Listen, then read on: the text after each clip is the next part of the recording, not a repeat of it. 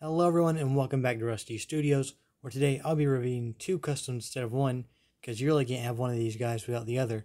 Race Damage Todd Marcus and Race Damage Claude Scruggs.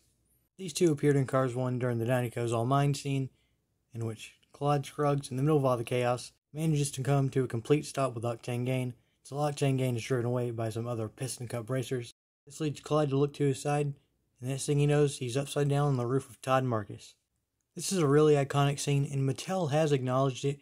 They planned on making a race damage Leakless than a race damage No Stall racer, but ended up canceling it.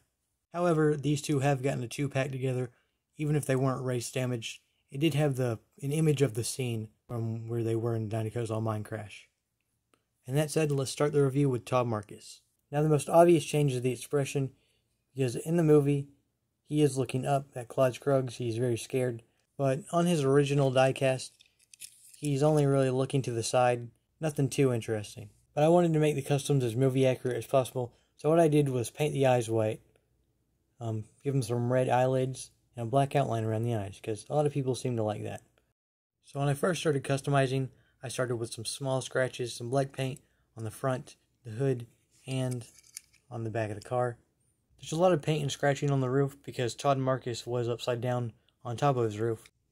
And my favorite part has to be the sides because all that yellow and red paint from the other racers in the crash, like, I'm just really happy with how that turned out.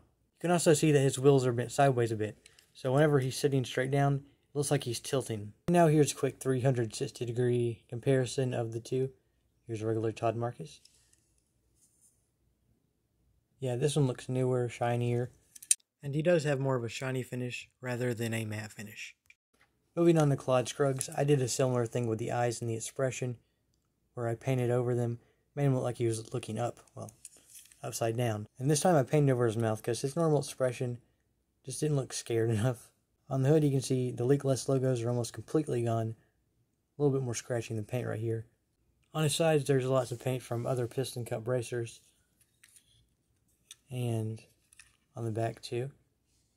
Lots of the yellow paint being exposed underneath the black paint. On his roof, since the most damage was done by Todd Marcus, there's lots of red paint. All four of his wheels are also pointing downwards because when he was upside down, he kind of had his tires in the air. Really shows how scared he was. And for a comparison, um, I, I think I would say about the same things that I would with regular Todd Marcus and the custom race damage Todd Marcus. The non-customized one looks very shiny, brand new because the regular one looks shiny and new, while the customized one looks like he's been in the crash. And these two were really fun to remake scenes with, like the scene where McQueen, well, I don't have McQueen with me, but just pretend it's McQueen. Like the scene where McQueen jumps on Claude Scruggs' tires and over the finish line. And of course, this scene. Anyways, if you enjoyed the video, please don't forget to like and subscribe, and comment which of these customs is your favorite. Thanks for watching.